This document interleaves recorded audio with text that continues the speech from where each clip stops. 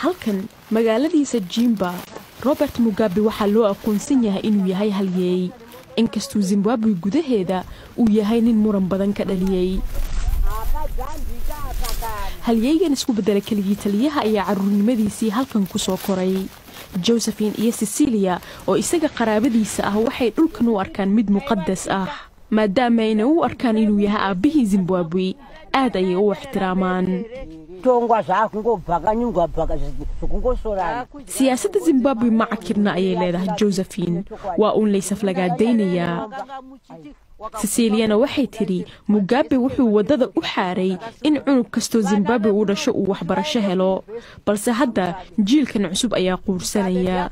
Guul kastuu dalkan gaaray waxaa horseeday mugabe ayay tidhi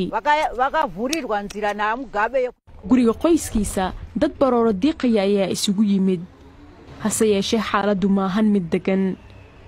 Kadib markii xilka laga tuuray labadakuniyotoddobytobankii ma cadda haddii ay qoyskiisu doonayaan in halkan lagu duugo ama haraare halkii ay halyeeyada dalkan u soo dagaalay ay ku duugan yihiin. Qolkan dhexdiisa odayada tuulada ayaa go'aan ku gaaraya halka madaxweynaha lagu duugi doono muran ayayna u muuqataa inuu ka taagan yahay halka uu meydkiisa ku dambayn doono. Balse wiilka uu abtiga u yahay ayaa sheegaya in mugabe uu aaminsanaa in la khiyaameeyey.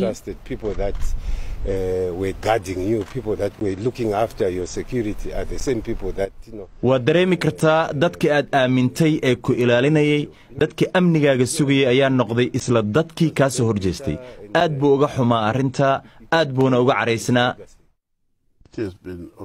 saaxiibkiisa uu aadka ugu kalsoonaa father fidelis wuxuu yidhi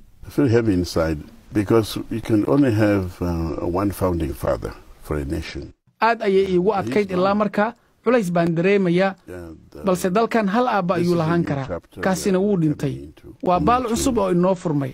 Qaran ahaan haddii aanan ka faa'iidaysan gadaal ayaan u laabanaynaa. Meydka madaxweyne mugabe toddobaadkan ayuu dalkan soo gaari doonaa madaxda qaranka waxaa lagu casuumi doonaa xaflad balse kama qayb qaadan doonaan aaskiisa. Haddii lagu duugo gurigiisa miyiga waxay u muuqan doontaa mid uu ku xumaynayo dadkii uu aaminsanaa inay khiyaameeyeen